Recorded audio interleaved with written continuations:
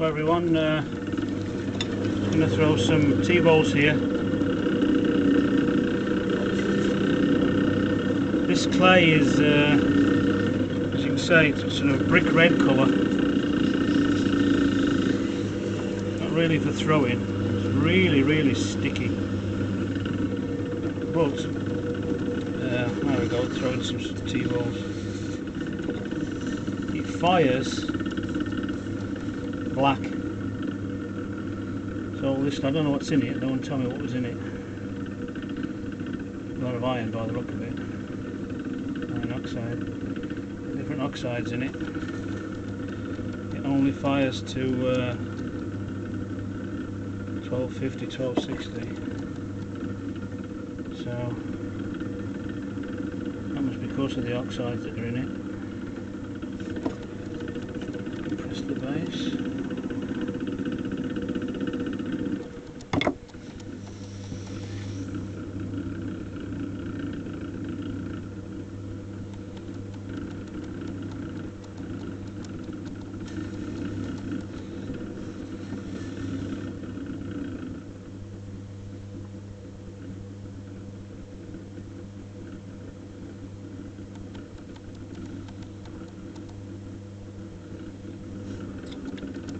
Don't have to put much water on it, which is nice.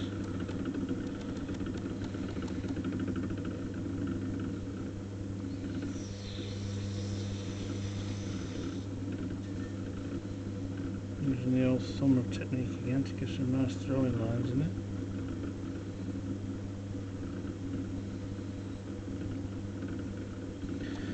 To throw it off centre a little bit, but I don't think it really matters.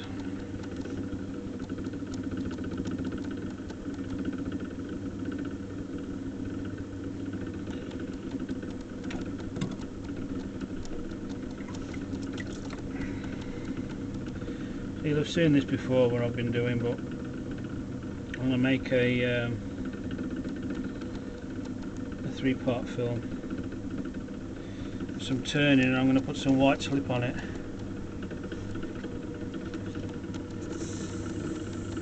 On the outside so uh,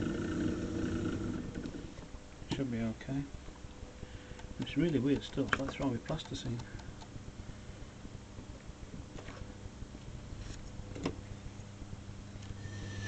I don't know how it would uh, take to being thrown into sort of bottle shapes or lidded shapes I'm sure but uh, let's do one more for you and then it'll cut to, it'll cut to the next part turning and slip the interesting bit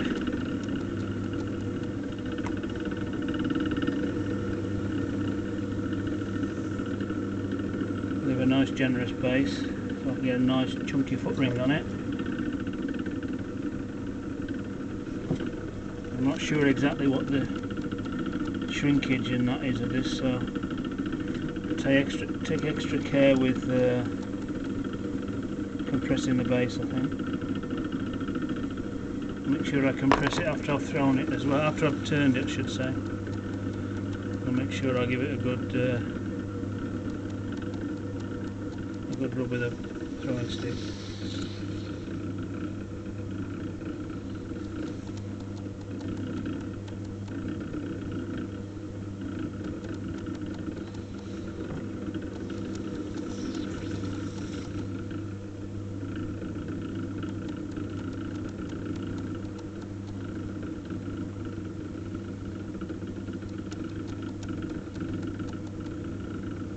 I've left this out overnight to dry out a little bit because it was quite soft and sticky like I said.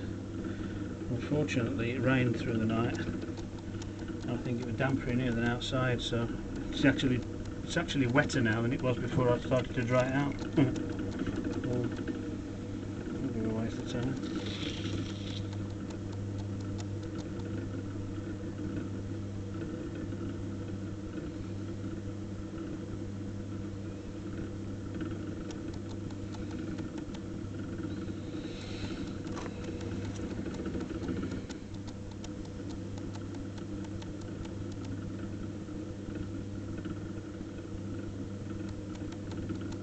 Type of throwing lines in there. It's quite pleasant.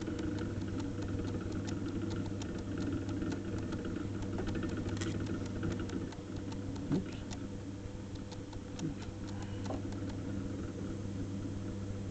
Nice and slow like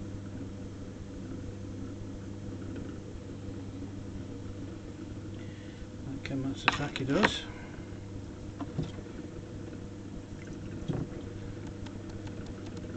Tell you how uh, impressed with that uh, exhibition saw. Although they do a good job of filming it, certainly it justice. You have to see it in the flesh to, be, to appreciate how beautiful those pieces are. Okay, that's two done. We will uh, cut to them in a little while when they're dry. Now in this weather, in about three days. and uh, then I'm gonna crack, crack on with throwing these and you'll see the next bit.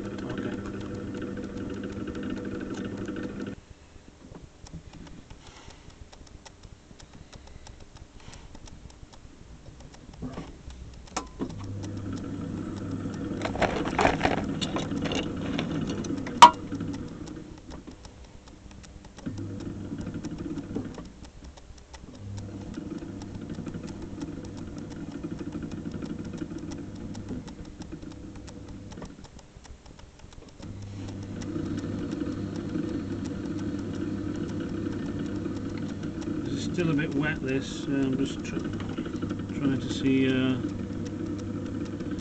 how it turns. taking a hell of a time to dry out these pots.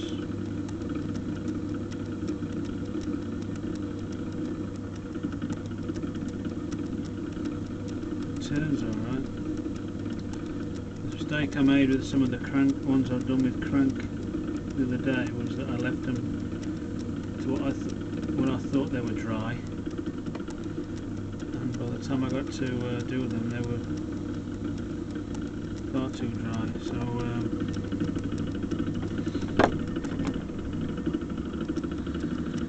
I'm waffling on a bit here.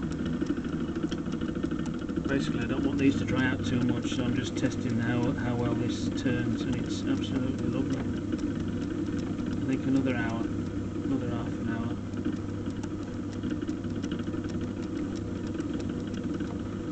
can see these uh, dry enough to turn properly. This one's not too bad.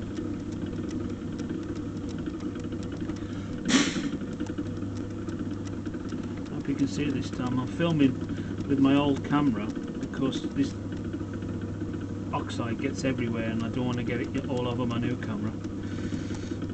So the last one was a little bit uh, couldn't see the bottom of the pot but uh, adjusted it now, so I think it should be alright.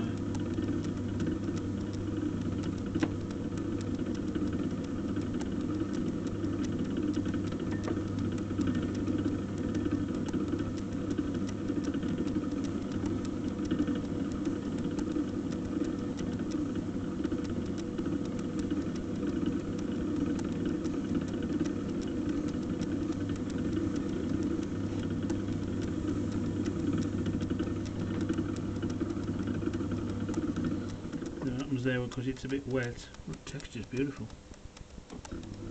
Because it's a little bit wet, the turnings stick to it. A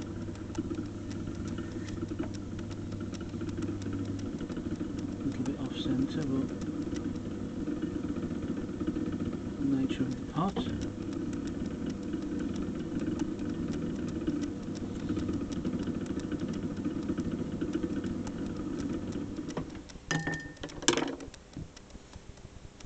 There we have it.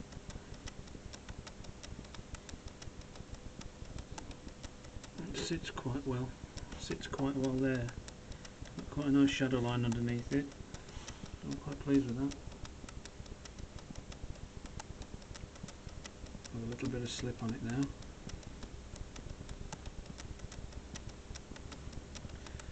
See that in a while. Okay.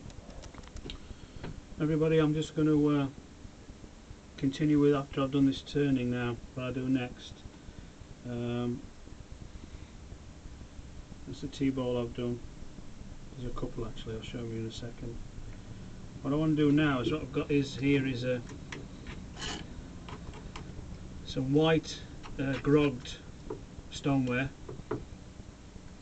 So the consistency of uh, whipped cream. Did it in the blender. Don't tell uh, my wife. It's all clean now, so there's no evidence. And what I'm going to do is just wipe some of this uh, slip on here.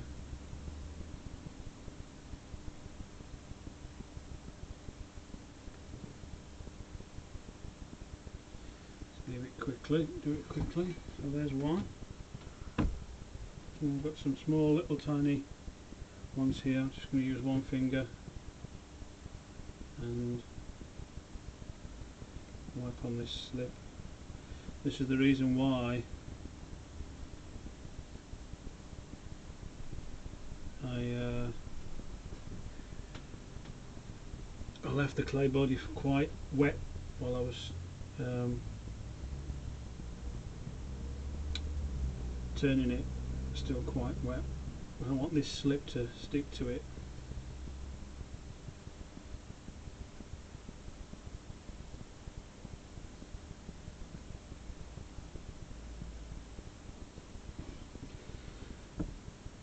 That one there has not been turned yet.